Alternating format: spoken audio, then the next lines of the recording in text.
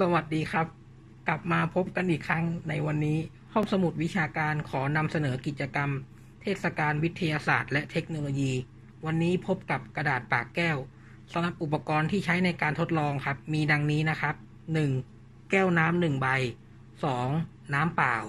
3. กระดาษและ 4. ภาชนะที่รองน้ำครับสำหรับวิธีการทดลองนะครับ เราจะใส่น้ำลงไปในแก้วนะครับ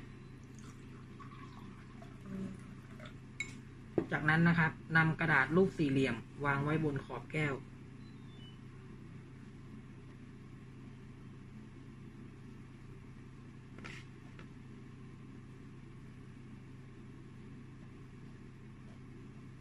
แล้วก็ค่อย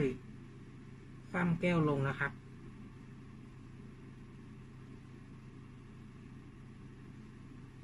สังเกตผลที่เกิดขึ้นนะครับ จะพบว่าแผ่นกระดาษนั้นติดไปกับแก้วไม่หล่นลงมาพร้อมกับน้ำนะครับ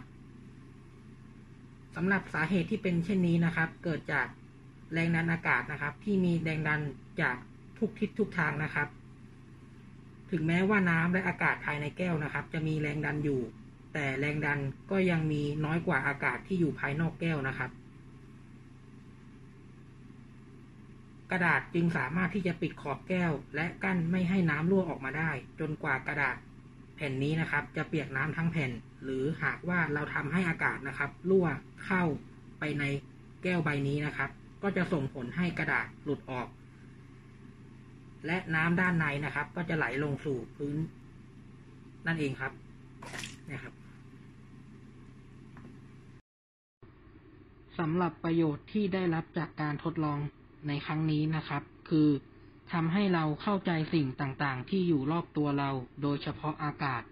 อากาศนั้นมีความสำคัญมาก เพราะหากไม่มีอากาศ สิ่งมีชีวิตก็ไม่อาจดำรงชีวิตอยู่ได้ และแสดงให้เห็นว่าอากาศที่อยู่รอบตัวเรานั้น มีแรงดันมหาศาลเพียงใด